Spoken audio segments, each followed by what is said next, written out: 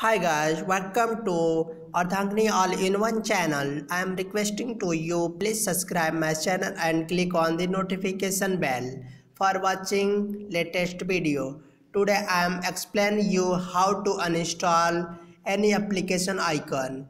It's depend on you which application icon do you wanna uninstall. According to me, I wanna parallel space application icon uninstall. Then let's see how to uninstall uh, that apps.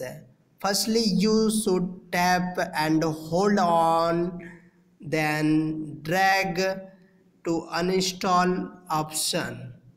Then one information open which do you want to uninstall this app? Then you should uh, click on ok option then your application will be uninstalled.